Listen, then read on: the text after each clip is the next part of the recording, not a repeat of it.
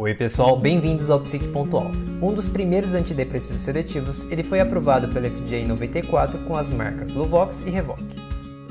Ele é um inibidor seletivo de recaptação de serotonina e do grupo do éter. Ele bloqueia o transportador SERT e aumenta a atividade serotoninérgica pós-sináptica. É também antagonista de receptor sigma-1, melhorando sono e sintomas psicóticos, e sem efeito em receptor histamina, alfa e muscarínico. É indicado para toque, transtorno de ansiedade social, transtorno de pânico e depressão.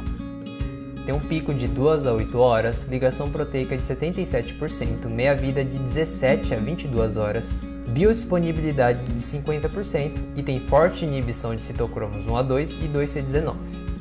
Ele tem um início de 50mg e dose máxima de 300, pode causar náusea, cefaleia, boca seca e poucos efeitos sexuais e é contraindicado para hipersensibilidade e uso concomitante de imãos.